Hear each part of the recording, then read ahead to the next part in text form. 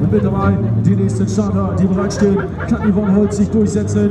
Kann sie einziehen ins Viertelfinale? Das ist die große Frage. Hier am heutigen Tage auf der Außenbahn. Der kleine Blaue mit der smarten Blonde.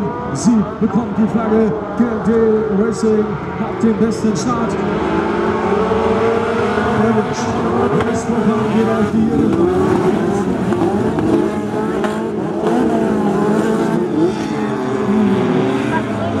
Der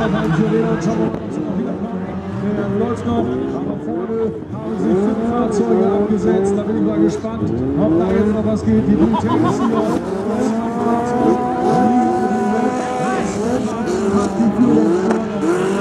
Die Red Diamonds auf der Zone. Die gelbe Flagge geht raus. Und dann ist die Führung. Die Diamonds auf der Zone. Kann die Holz Oh, das wird jetzt noch einmal richtig spannend. Vorne haben wir. Ja, ja. Das ist der absolute Wahnsinn.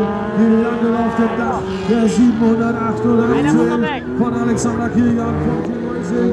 Und es geht runter weiter. Links vorbei von diesem Destination. Links vorbei ist Dose. Wir schauen mal. Die Diamonds haben die Nase vor und Neustarter für die nächste Runde. Stimmen sind fast aus für die Diamonds. Die Diamonds gewinnen den Lauf. Diamonds auf 1. 788 Alexander Kilian auf der 2. Total normal Übernsdorf auf der 3. TNT Racing auf der 4. Und Yvonne Holz holt sich tatsächlich noch den fünften Platz für die Blue Tanks und ist damit ebenfalls in der nächsten Runde.